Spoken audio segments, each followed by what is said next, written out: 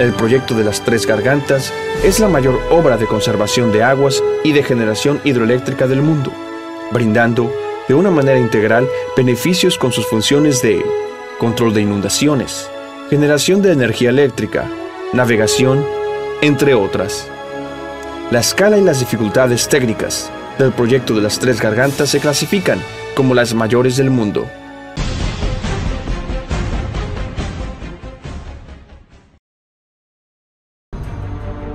China es un país gravemente afectado por la sequía. La economía en Pekín, Tianjin y el norte de China está desarrollada, ya que posee tierras ricas en recursos naturales. Sin embargo, en el norte de China hay una grave escasez de recursos hídricos.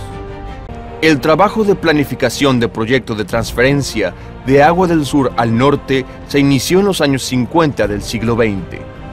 Hasta la fecha, se han formado tres rutas, central, este y oeste, para transferir el agua del sur al norte.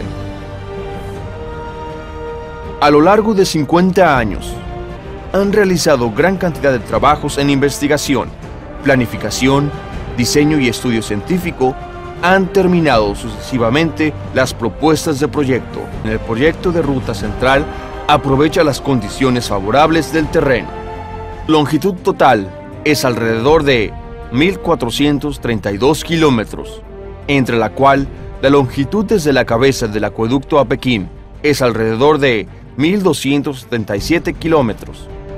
El tramo troncal de Tianjin es de una longitud de alrededor de 155 kilómetros. El caudal de desvío de agua en la cabeza del canal es de 350 metros cúbicos por segundo